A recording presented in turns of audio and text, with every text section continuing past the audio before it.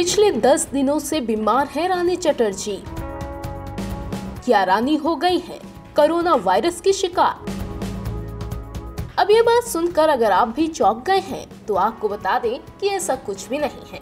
दरअसल भोजपुरी एक्ट्रेस रानी चटर्जी 10 दिनों से बीमार चल रही हैं और इस बात की जानकारी रानी ने खुद अपने इंस्टाग्राम पर इस तस्वीर को पोस्ट करके दी है, जिसके साथ उन्होंने कैप्शन दिया है, पिछले 10 दिन से कोल्ड और बुखार से परेशान हूँ। पर इस तस्वीर को देखकर लगेगा, मैं ठीक हूँ। जी नहीं, मुस्कान झूठी है। अब जैसे ही रानी ने ये पोस्ट किया तो उनके चाहने वाले तो परेशान ही हो गए। लोग कमेंट करके उनका हाल पूछने लगे। वहीं एक फ़ैन ने तो रानी की पोस्ट पर कमेंट करके पूछ लिया कि कहीं वो कोरोना वायरस की शिकार तो नहीं हो गए।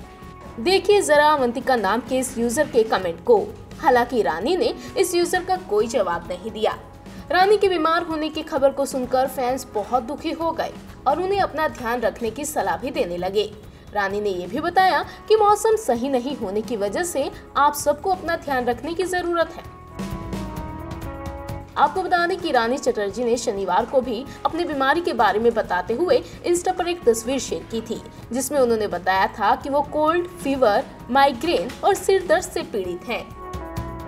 वैसे पिछले दिनों रानी अपने एक इंटरव्यू को लेकर काफ़ी सुर्खियों में थी, जिसमें उन्होंने बताया था कि वो इसी साल, यानी कि 2020 में ही शादी कर लेंगी।